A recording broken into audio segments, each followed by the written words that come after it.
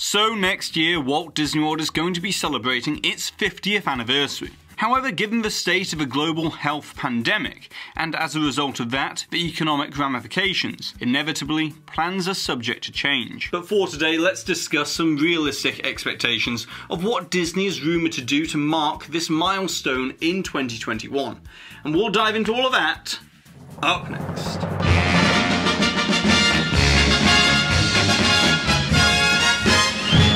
Hi there Waltineers, I'm Jack and this is of course DSNY Newscast and you know what, let's just jump straight into it. So to begin with, ever since the 45th anniversary of Walt Disney World in 2016, Disney has been building toward the big resort-wide celebration for Walt Disney World's 50th anniversary. However, then came 2020, which has caused huge financial strain for the Walt Disney Company through the extended closure of the parks, a non-existent theatrical movie business, and a struggling hospitality sector and travel industry that is suffering from international border restrictions and a lack of traveller confidence. And although 2020 has been an extremely difficult year, early signs indicate that fiscal year 2021 will only offer a moderate improvement. As you see, there are many macro factors at play which are out of the realm of Disney's control, such as when will a COVID 19 vaccine become available, how efficiently will it be distributed, and will the efficacy and vaccination percentage be substantial enough to provide a permanent decrease in the reproductive rate of the virus. Then the other macro factor will be the overall state of the global economy and whether actions have been sustained in ensuring a robust economic recovery. And the reason why these two factors matter the most, as if there are any hiccups with the vaccine,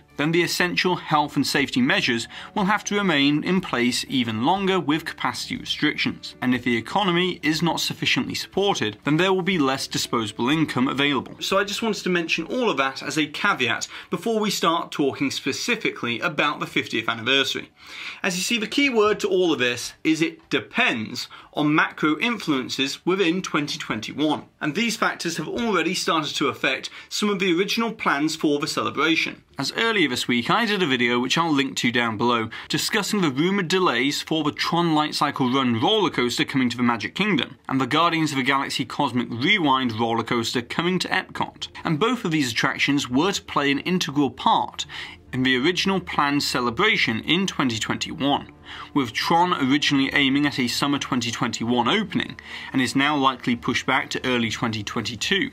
And Cosmic Rewind was targeting a late fall 2021 opening and has been pushed back to Epcot's 40th anniversary in October 2022 instead. And the reason why we're seeing these delays is because of a construction pause throughout the closure period, the slow pace of construction since reopening, and the expected construction pauses early next year to alleviate some economic strain. However, in addition to all of this, there were some long rumoured enhancements coming to some classic attractions as part of the 50th.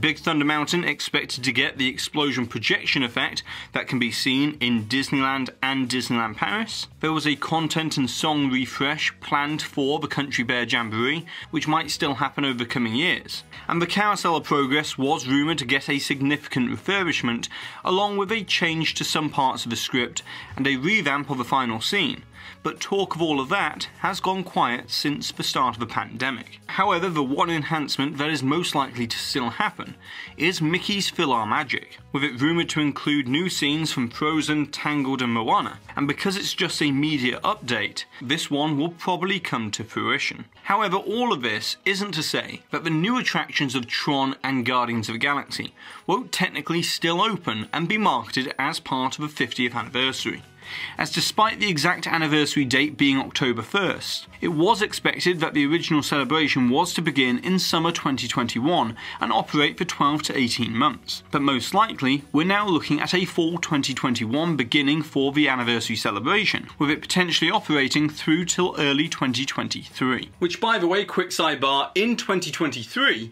the Walt Disney Company is going to be celebrating a major milestone. As on October 16th of that year, the company will celebrate celebrate its 100th anniversary since it was founded by Walt and Roy Disney. And it's already been announced that at D23 Expo in 2022, Disney will be discussing the massive plans that they have to celebrate this landmark achievement that not many businesses can tout. So they'll have some big plans for all of that, which will surely warrant a massive marketing campaign. But speaking of marketing campaigns, Let's now talk about how this anniversary is going to be treated. As you see, the celebration campaign for the 50th is going to be vital to Disney's recovery after a very shaky period.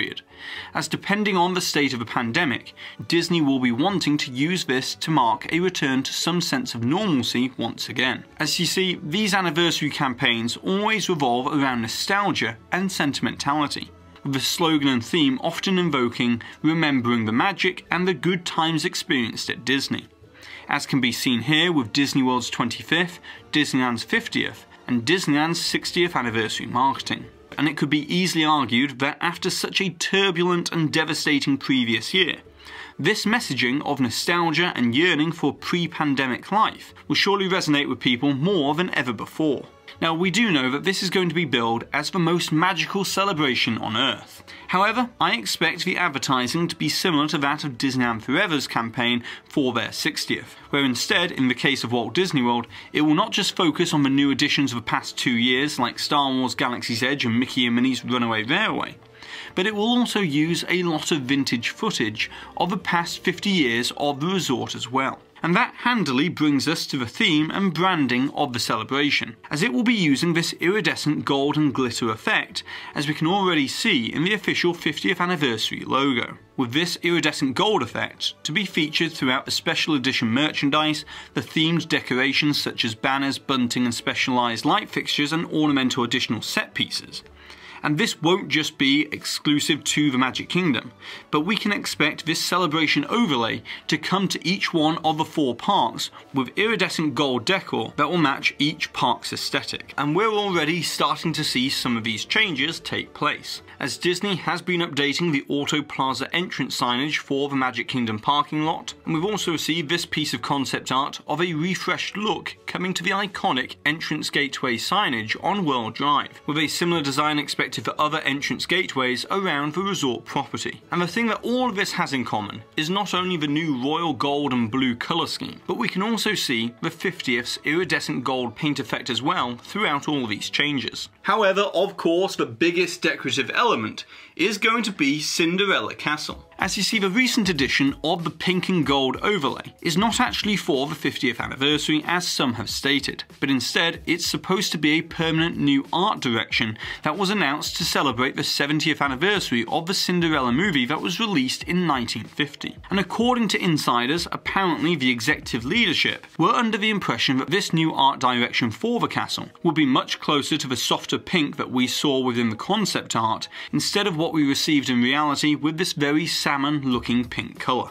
So we might be seeing some additional tweaks to this paint job in the coming years. But importantly, we're also receiving information that we can expect additional special decorative pieces to adorn the castle as well, that will match this iridescent gold theme of the 50th, with it to be similar in scale and scope to that of the diamond anniversary decorations at Disneyland in 2015. Although I've got to say that there's still a part of me that would love to see that iconically controversial 25th anniversary castle cake once again. But needless to say, Disney will be going in a more subtle and stylistic direction this time around. So just because Disney won't necessarily have Tron and Guardians of the Galaxy ready for the big kickoff to the celebration in 2021, that isn't to say that it won't still be special, as the main focus is going to be on entertainment. And there are two very good reasons why it makes sense for entertainment to take centre stage in these plans. As first of all, entertainment is more flexible and fluid than that of fixed construction timelines for new attractions. And so depending on the progress made on COVID-19 next year, entertainment will be able to adapt and adjust plans with relatively smaller expense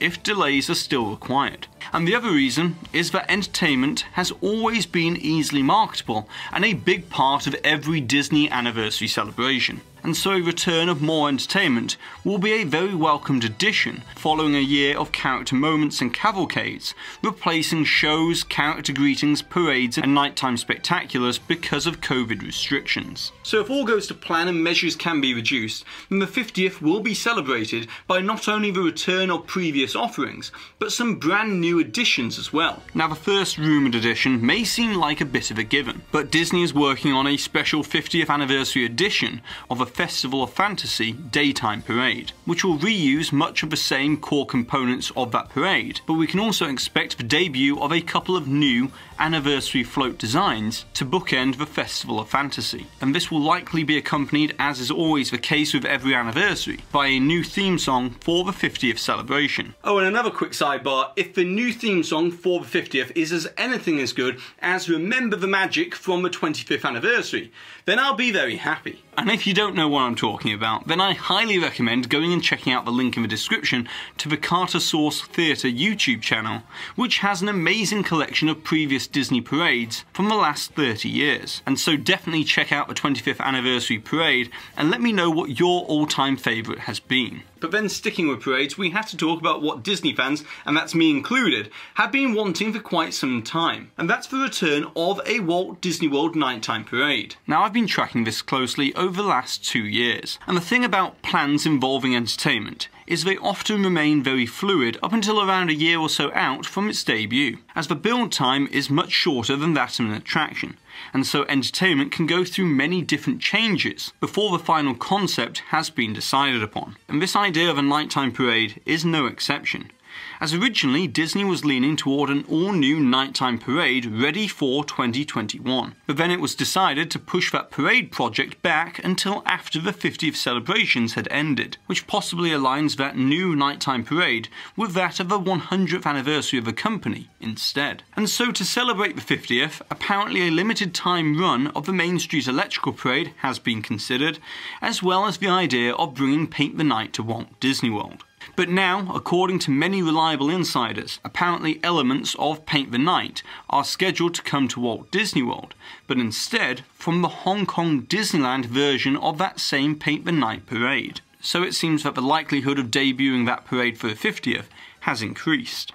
But the other interesting thing is that there is another concept that is being considered that apparently involves elements of the Main Street Electrical Parade as well as Paint the Night, with that concept being to create a new nighttime parade that will be a representation of nighttime Main Street magic of the last five decades, which would see a retrofitting of some daytime floats to make some new float designs, and also recreating one or two of the SpectroMagic floats as well with this limited time anniversary parade concept, would incorporate elements of all of their soundtracks as sort of a one of a kind greatest hits. Which, if you think about it from Disney's perspective, this would harness the nostalgia marketing for an anniversary. But also, if parades are still not feasible by fall of 2021, then the idea could simply just be pushed back or scrapped with relatively little expense. But then lastly, we turn to the expected return and possible debut of Nighttime Spectaculars. As it's expected that Happily Ever After will return with a new pre-show and end-show tag for the 50th anniversary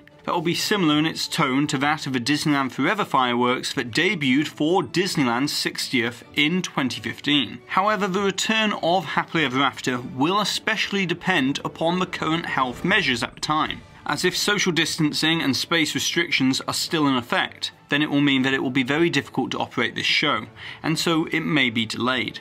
But before the pandemic, the original idea was for Epcot to play a big part in hosting the 50th celebrations, as it is the largest Disney park at Walt Disney World.